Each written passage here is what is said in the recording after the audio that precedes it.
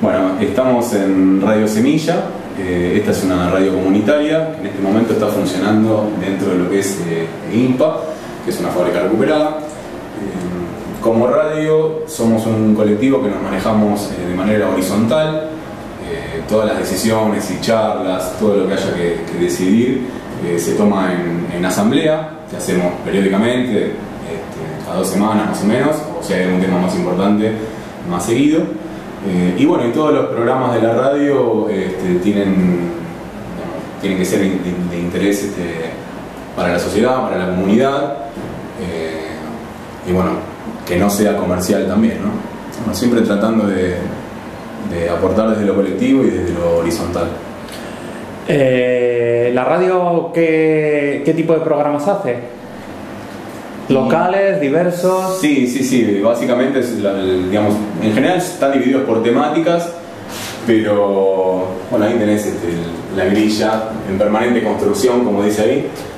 Em, tenemos programas este, de género, tenemos programas dedicados a los trabajadores, este, programas para debatir todo lo que, lo que son las cuestiones relacionadas con el sistema y cómo cómo sobrellevar eso, ¿no? Cómo, cómo tratar de, combatirlo o de, no sufrirlo tanto, digamos. Ok, ¿alguna cosa más? ¿El proyecto surgió en un barrio de por aquí cerca? Sí, digamos, la radio nació, yo no soy más indicado para decirlo, pero bueno, me agregué después a lo que, a lo que fue el proyecto, pero eh, la radio nació en, en, un barrio que se llama San Cristóbal, un barrio de acá de la ciudad de Buenos Aires, este, bueno, tenemos unos problemas, nos tuvimos que mudar y bueno, y como te decía antes, ahora estamos funcionando en, el IMPA. Estamos muy orgullosos de, estar acá y formar parte de, este proceso, ¿no?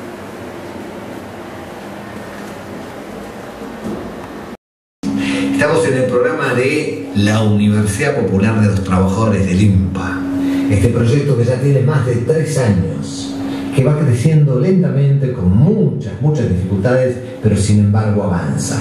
Y ahora también tiene, gracias a Radio Semilla, un espacio en la radio para hablar de la universidad y para hablar también de un tema que nos apasiona, economía social.